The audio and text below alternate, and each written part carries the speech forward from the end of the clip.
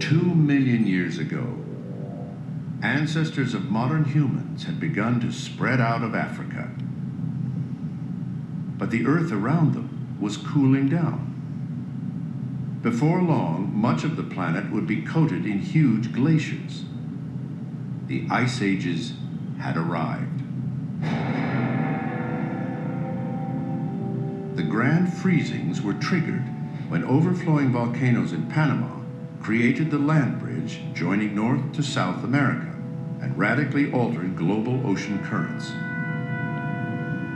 The polar seas cooled significantly. The result was that pronounced dips in global temperature could now tip the planet into ice ages lasting tens of thousands of years.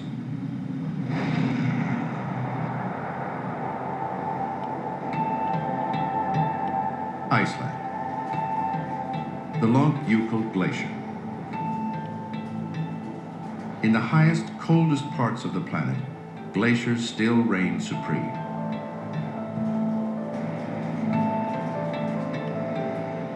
Few venture out in these hostile terrains, but glacier climatologist Finnur Pálsson and his team regularly battle the freezing elements. When you're doing glacier fieldwork, conditions can be very bad.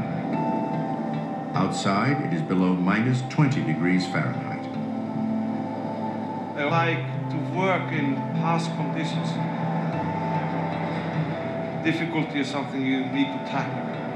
Finnur is keeping tabs on the growth of the glacier. At present, it is over 350 square miles, the size of New York City. And although it may look static, in fact, it is in constant motion. Glaciers are formed initially by snowfall on high areas. The compacted ice is then dragged down by the force of gravity. The glaciers move like slow motion rivers. You can think of ice as soft material like toothpaste. It flows. If you would make a big block of toothpaste on a plate, it would slowly sink down and flow away to the edges. Finnur and his team in Iceland regularly check on the incremental movement of the ice.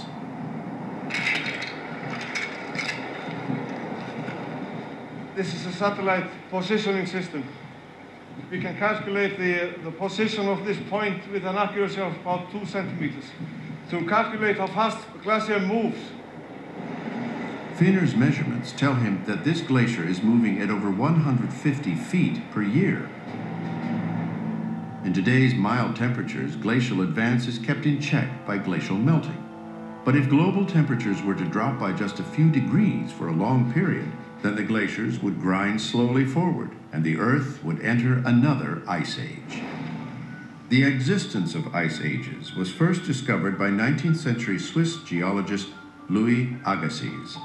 As he explored the Swiss Alps in the 1830s, Agassiz couldn't help but notice the immense boulders scattered over farmland and the bizarre towers of gravel capped by stones that stood guard over some of the mountain valleys. To explain how the rocks arrived at these positions, he speculated that they had been carried and deposited by ancient glaciers that had once filled the alpine valleys and covered the northern hemisphere. Initially ridiculed by his peers, Agassiz's Ice Age theory became accepted as telltale signs that these huge glaciers had indeed covered the continents were found all over the globe. The evidence is everywhere.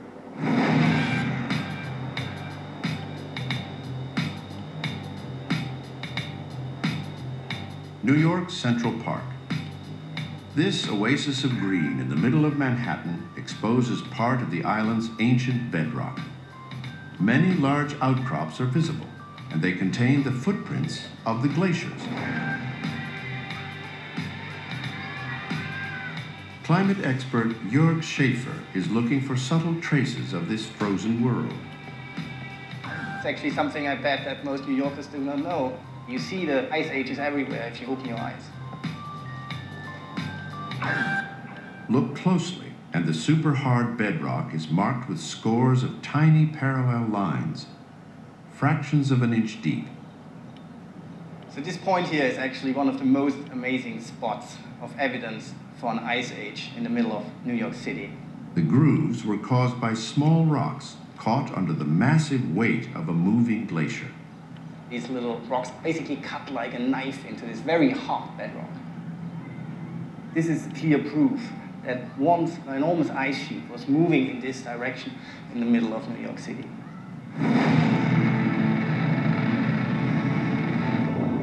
The glaciers that hit New York were massive. They rolled down from the Arctic and buried Manhattan under a huge depth of ice. Give you an idea about the thickness of the Laurentide ice sheet in the Manhattan area, it was at least twice as thick as the Empire State Building's height today. Over the last two million years, as the climate fluctuated, the huge ice sheets waxed and waned. With every pass, they gouged and crushed and reshaped the land beneath them. As the last glaciers retreated 10,000 years ago, they left behind a bruised and battered landscape and created features we still see today. In the USA, Cape Cod and Long Island are built on immense piles of boulders dropped from the retreating edge of the North American ice sheet. And the great weight of the ice formed huge depressions that now make up the Great Lakes.